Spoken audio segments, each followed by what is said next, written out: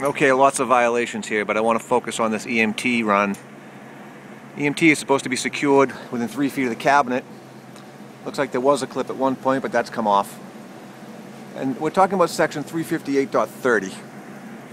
So three feet from the cabinet, and then every 10 feet the EMT should be secured, but as you can see, it continues up into the air, and then continues over, completely unsupported and secured. It's just resting on this uh, heating pipe up there. There's even a light fixture clipped to it, adding some additional weight to this EMT.